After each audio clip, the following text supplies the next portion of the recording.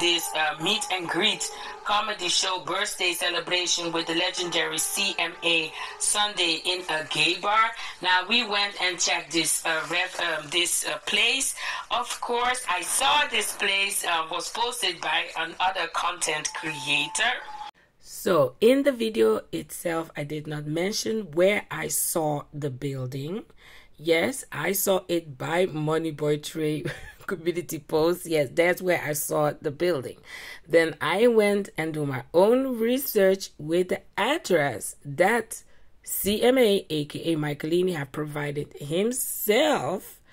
And that's where I done the review. So for the people who are saying that I have dox CMA, aka Maikelini, that is not true. The address was already, the invitation was already on YouTube. He put it himself and uh, I was doubting. I was doubting, is this the place?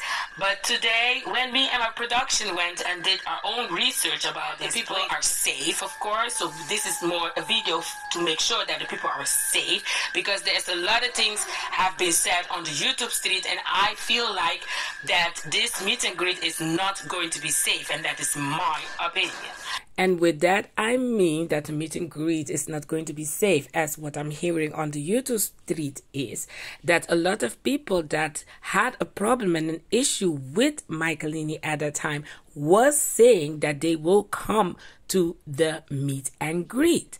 Now, I'm going to keep that a little bit for the people who know, know. For the people who doesn't know, I'm going to keep that a little bit for now. There were some people that really had some issue with Maikelini said that they were coming to the meet and greet. That's why I was checking and all of that. Also for the security, also for the surrounding, the place.